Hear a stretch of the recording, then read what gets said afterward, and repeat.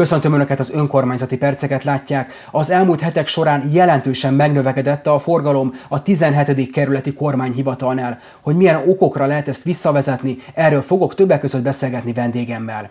Üdvözlöm a stúdióban Csepetiné Gébele Juditot, Budapest főváros kormányhivatal 17. kerületi hivatalának vezetőjét. Jó napot kívánok, üdvözlöm a nézőket én is.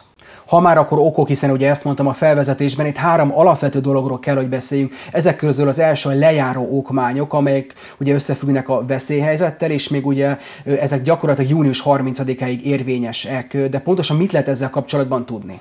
Azt lehet tudni, hogy ugye az egész pandémia ideje alatt különböző időszakokban voltak érvénytelenek, illetve érvényesek az okmányok. Most ugye jogszabálymódosítás következtében gyakorlatilag 2020. március 11-től, amely okmányok lejártak, azok érvényesek június 30-áig. Ezért rengeteg országosan mindegy másfél millió okmány van, ami ezen időszak alatt lejárt. Itt a kerületünkben is lehet azt mondani, hogy körülbelül 50-60 ezer okmány volt. Az elmúlt héten egy statisztikát kaptunk, amelyek ezen időszak alatt lejártak.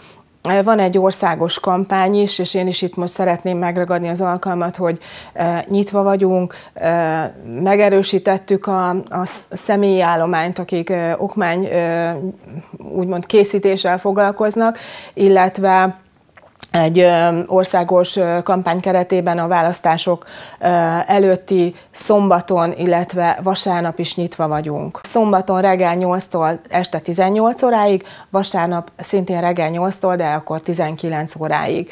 Úgyhogy várjunk, várunk mindenkit szeretettel. Elsősorban azért azt szeretném kérni, hogy a választással kapcsolatos, esetleg elhagyott, elveszett, megrongálódott okmányok cseréjével kapcsolatos ügyintézés történjen, mert ebből is elég sok szokott jönni, most meg szerintem még több, ugye, ami a választáshoz kell, lakcímkártya, lakcímigazolvány, személyokmányok.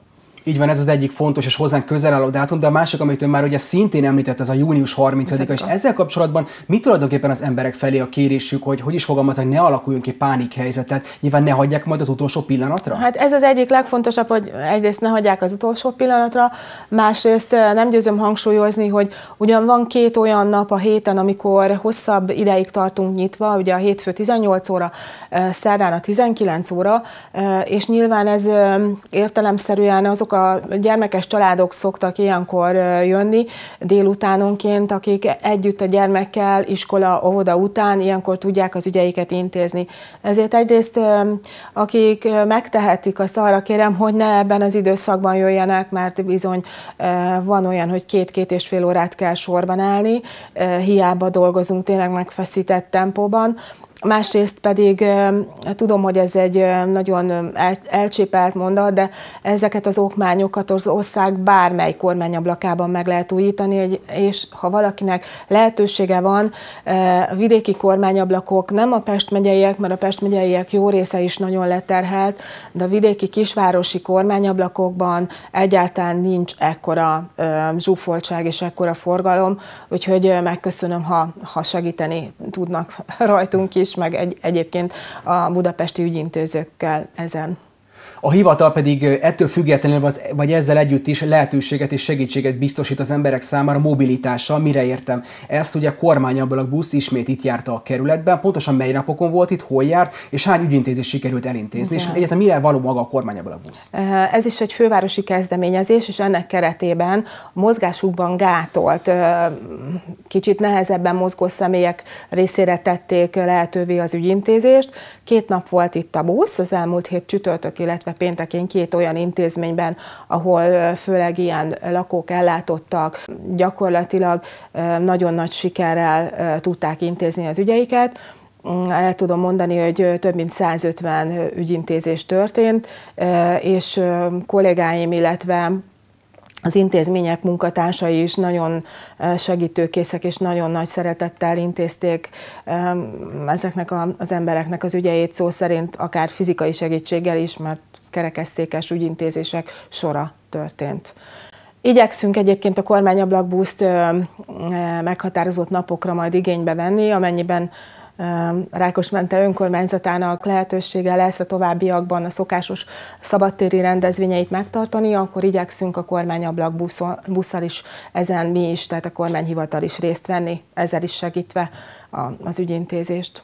Ennek keretében tehát pedig, aki tudja és látja, akkor azt nyugodtan keresse majd fel a kormány ablakbusz, és akkor az utolsó fontos témánk a orosz-ukrán háború kapcsán lenne, nyilván nem mehetünk el sajnos emellett, ugye önök is segítséget nyújtanak a menekültek számára, milyen módon és hogyan fordulhatnak önök az ügyintézés szempontjából a menekültek akár? Jó, egyrészt kétféle dolog van, ugye maga a kormányhivatal, illetve a kormányhivatali állomány a helyi védelmi bizottság törzsét is alkotja a kerületben, és együttműködünk a kerületben mindazokkal a szervekkel, akik a menekültek ellátásában részt vesznek. Operatív törzsünk tartott megbeszélést is, ahol a jelenlegi jogszabályokat és lehetőségeinket átbeszéltük, ismertettük valamint a jogszabályok kifejezetten egyrészt Budapest főváros kormányhivatalát jelölték ki a menekültek ellátására, ezt országosan is értem, másrészt a kerületi hivataloknál az itt lakó vagy itt elszállásolt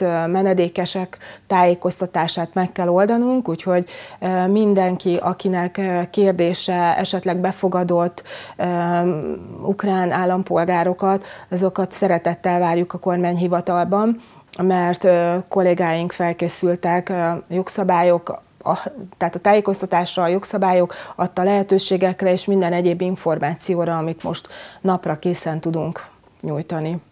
Valamint, hogyha jól tudom, akkor vannak kijelölt munkatársai, akik ugye a pályaudvarokról érkező menekültek számára nyújtanak segítséget? Igen, ez is van. Gyakorlatilag be vagyunk úgymond osztva, de, de ezt el tudom mondani, hogy nagy szeretettel végzik a kollégáink. Ilyen 12 órás műszakokban pályaudvarokon voltunk, és a mai naptól pedig a kijelölt bokcsarnokban, ahol egy ilyen komplex segítségnyújtó pontot állított fel a kormányhivatal, ahol gyakorlatilag az idegenrendészeti hatóságtól a rendőrségig, a karitatív szervezetekig egészségügyi ellátást kaphatnak a, a menekültek, van babaváró, van étterem, tehát egy e-, egész komplex ilyen segélynyújtó, mondhatnám, azt hely került kialakításra, és itt is gyakorlatilag napi váltásban kollégáim dolgoznak. És a leges legutolsó dolog, ami kicsit talán még kötne az első kérdés, ez visszakanyarodván ezen, mert nagyon fontos szerintem a lejáró okmányok kapcsán. Ugye fontos, hogy az emberek lehetőleg a hivatal nyitvatartási idejében keressék fel önöket, és esetleg akik ezzel nincsenek tisztában, pontosan hogyan néz ki a heti menetrendjük? A heti menetrendünk az gyakorlatilag változatlan.